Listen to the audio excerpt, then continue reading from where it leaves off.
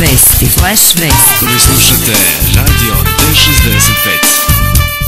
Poštovani slušalci, dobar dan. Vi pratite Flash Vesti radija D65 za petak 8. februar.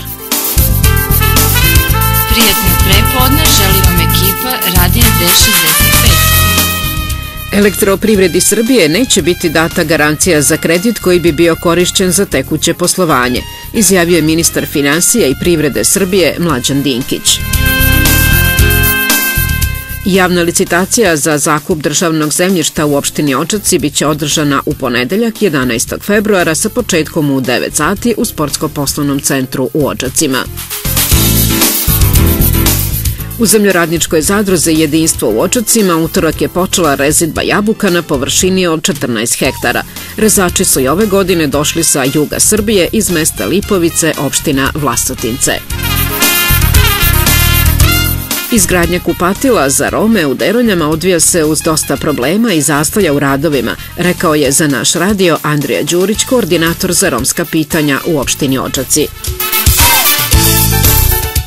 Mira Mandić, umetnički rukovodilac kulturno-umetničkog društva Marko Orešković iz Bačkog Gračaca, kaže da se probe redovno održavaju i uvežbavaju nove koreografije. Sledeće nedelje jedna njihova članica učestvovaće na seminaru za koreografe.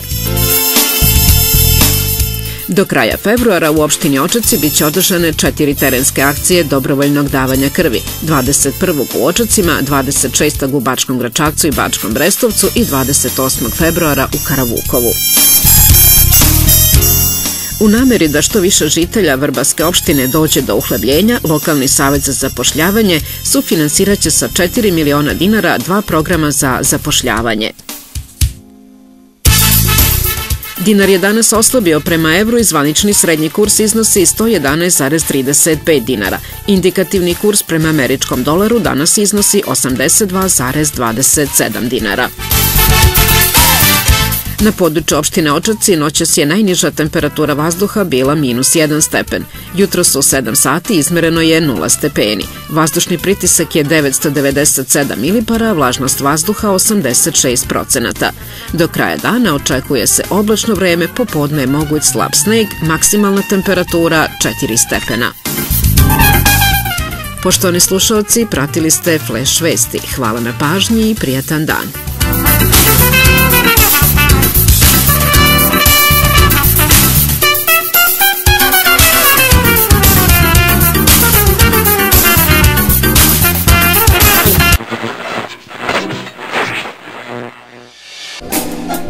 D65, radio D65, prozor u svet.